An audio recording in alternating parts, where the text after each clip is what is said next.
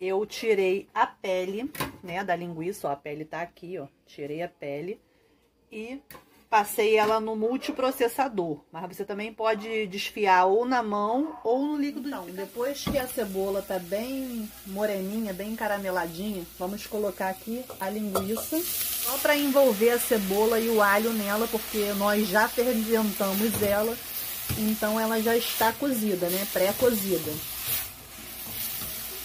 Depois que você misturou bem a cebolinha junto com sua linguiça, você vai acrescentar os demais ingredientes, que é o tomate, o pimentão e a azeitona. Viu que eu coloquei tudo em cima da linguiça, tá vendo? Agora vou mexer, envolver todos os ingredientes junto à nossa linguiça.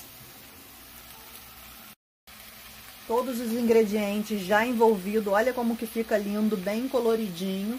Você pode acrescentar aqui um pouco de extrato de tomate ou não, né? Fica a critério aí de cada um. Eu vou acrescentar um pouquinho aqui para dar uma corzinha, apesar de que, que já tá linda até assim do jeito que tá. Cuidado, se vocês forem colocar mais sal, cuidado, porque essa linguiça ela já contém sal, né? Lembrando que essa linguiça aqui ela já é recheada com alho, maravilhosa, muito gostosa mesmo, e ela é de pernil. Então, Cuidado aí na hora de vocês colocarem mais um pouquinho de sal. Eu vou acrescentar aqui também um pouquinho de pimenta do reino. Já acrescentei aqui esse pretinho aqui, ó. Não sei se vai dar pra vocês verem aí, ó. Tá vendo? Vou envolver aqui mais um pouquinho. Gente, esse recheio de linguiça é delicioso. Hoje o escondidinho vai ser um pouco diferente. Vai ser escondidinho de linguiça de pernil, que é essa linguiça de churrasco. Espero que vocês gostem dessa dica, dessa receitinha. Deixa seu like aí se você gostar, se inscreve no canal se ainda não for inscrito, tá bom? E se puder compartilhar com suas amigas que não sabem cozinhar, te agradeço muito, assim você vai estar ajudando.